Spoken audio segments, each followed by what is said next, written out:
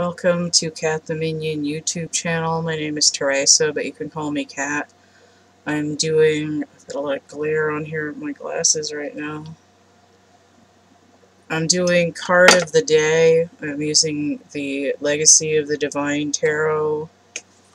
And um, I did already shuffle them, so let's go ahead and get a card.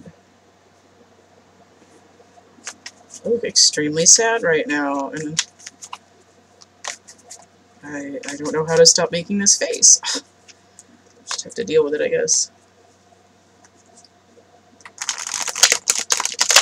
Okay, apparently I'm just shuffling them more. It's actually a really good, really nice deck to shuffle. I don't want like a million goddamn cards. I shuffle it for like 15 minutes, and then when I go to get a card, I have like four or five of them drop out. It's kind of ridiculous. Card of the day. Let's get some energy for the people. Something that's really going to help them move through some... I have to do better than that. So some energy for the people, something to help them move through something, make their day better today some insight or a synchronistic message for the people for today. Oh, it's 808.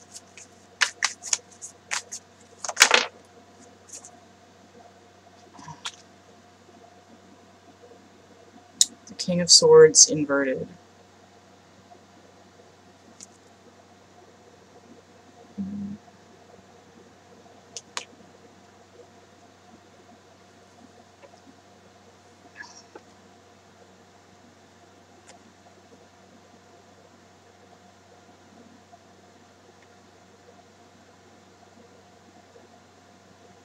Now, I could rattle off what this would normally mean.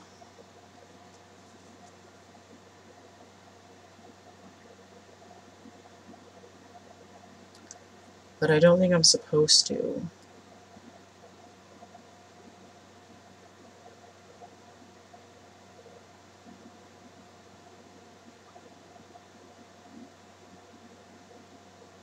I'm getting a little bit of energy of like you can't handle the truth.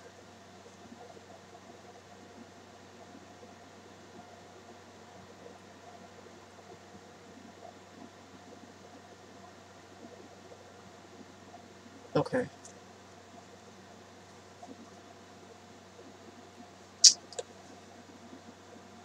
Batman. So Bruce Wayne versus Batman. So we have a duality. What is what is the presentation, right? People understand what Bruce Wayne is like in the public, but they don't know how he is in his personal life. Whereas the other aspect of him, Batman, there's also a public image, but people also don't know the truth of Batman. But the what's really true is that there's a unity between Bruce Wayne and Batman in that they're the same person and they have basically the same private life. But nobody really knows what it is. Alfred maybe knows, but Alfred's a homebody. It's like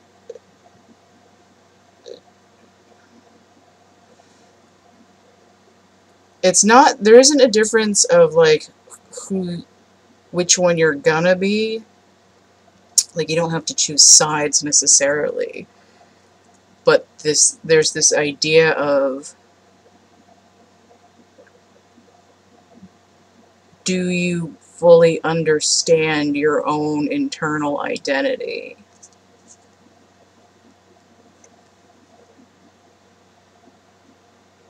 It's like, are you afraid of your own dark?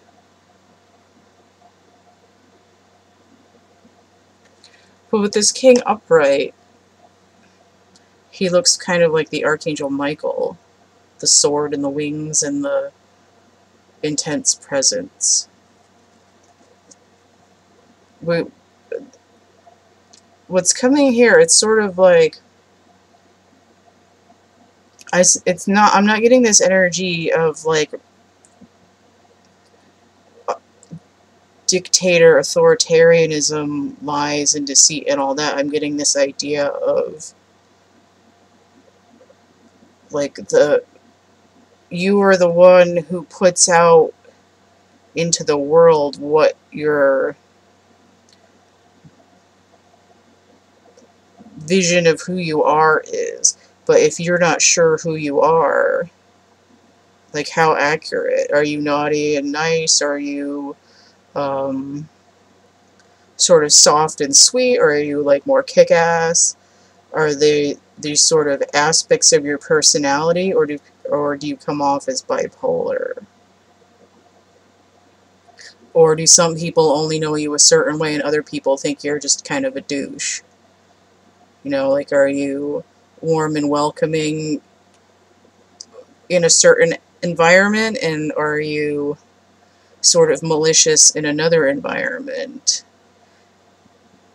But the reality of you is more tempered than that. So let me get the bottom of the deck. Okay so we have the nine of coins inverted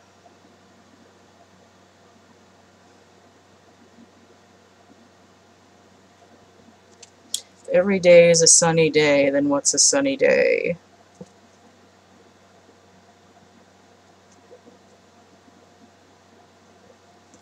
Uh, this is like the dark night of the soul.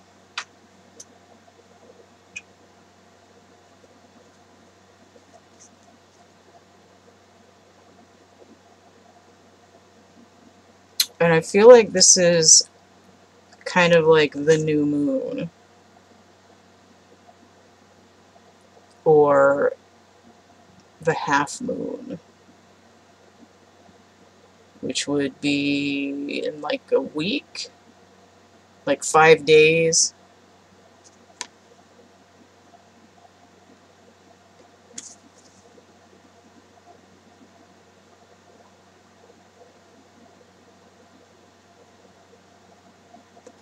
I'm just trying to think about these for a minute. Okay, so 5 and 9 is still 14, 1 and 9 is 10. That's 4.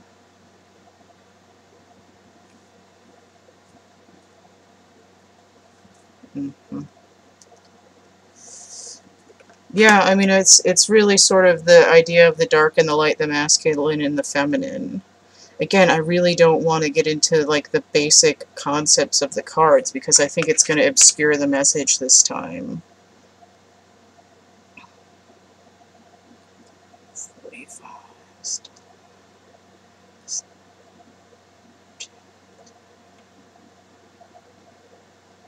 Six.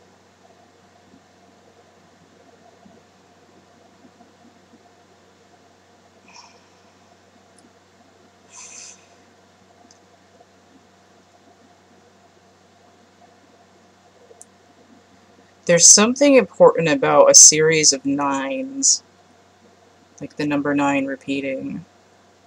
Now what's interesting is that if you're doing a calculator, one ninth is 0.1 repeating forever. Two ninths, two repeating forever. You know, and it goes the same, three ninths, three repeating. All the way up, eight ninths, 0.8 repeating forever. So 9 ninths is 0.9 repeating forever, but 9 ninths is 1. And there's this kind of hysterical discrepancy of, you know, one cajillionth of a of whatever decimal that isn't quite the whole thing. And it's it's like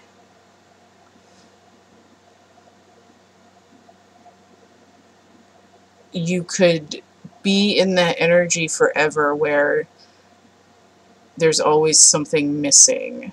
There's always that, you know, little tiny chip off of the 0.9 repeating decimal where you'll feel like you'll, you'll never be whole and you'll never be able to flip these cards the other way.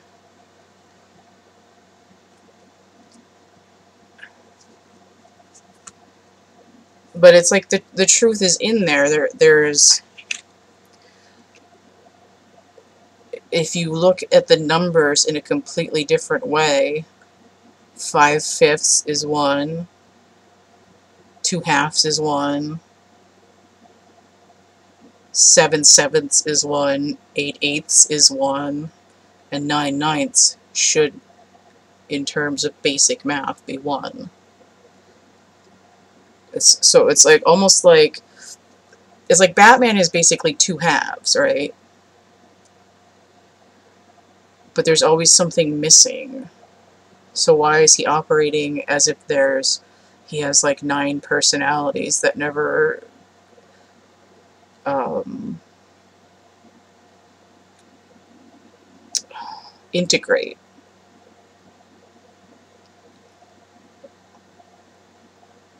It, and it's like the it's almost like the moon is sort of giving you the secrets to the math It's like when the moon goes into that half phase where it's halfway between full and new there's an equal amount of illumination and an equal amount of darkness so that you can see that it's almost like both systems are are valid and neither is some sort of ultimate truth that has to define you. It is like even if you're in your own truth 100%, someone in a different perspective could still not understand you. So it's like the only way to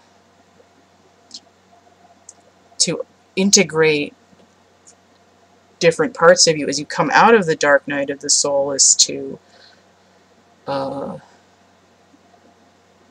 sort of let uh, like let yourself uh, be both dark and light and let yourself be the 0.9 repeating and the 1. Uh, I know this is a little bit strange, but I'm going to leave it there. And it'll either click or it won't, and if it doesn't, then there'll be another card of the day either tomorrow or the next day. So um, I would encourage you to purchase a personal reading. You can email me, the cat came back at camp at gmail.com. Oh, I can't, I was like, I can't tell if that's focus, it's because I don't have my glasses on. And there's a hair stuck in the thing. Okay, there we go, now I can see that. So you can email me, the cat came back at camp at gmail.com if you want to get a reading. The complete list of readings and how much they cost is in the description box of my infomercial video, which is linked below this one. It's like a guide and tutorial of what I got and how to find it. Um, I would encourage you to like, share, and subscribe and or comment. If you found this helpful, I would encourage you also to go ahead and hit that tip jar paypal.me slash cattheminion. I also have Cash App and Venmo. I do have actual art items for sale in my catalog. I've got prints and merch, a lot of which are psychedelic and or fashion. I have some coloring, a couple of coloring books if you want to chillax. I think that's it. So, stay groovy and we'll see you later. Bye.